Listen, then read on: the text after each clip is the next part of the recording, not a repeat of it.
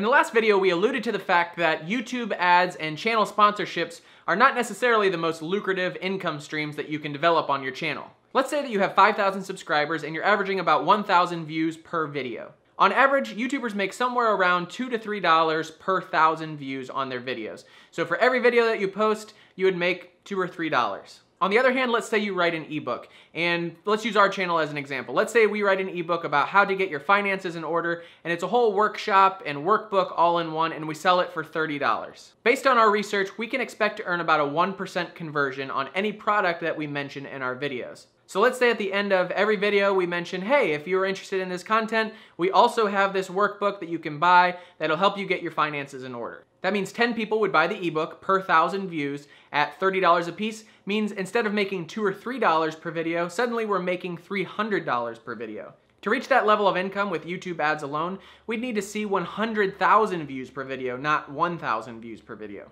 And here's why that is. When you sell a digital product on your YouTube channel, you're keeping 100% of the profits. So not only are you charging more than just a few dollars per thousand views, which you're then splitting with YouTube, you're charging 10 times that amount and keeping it all for yourself.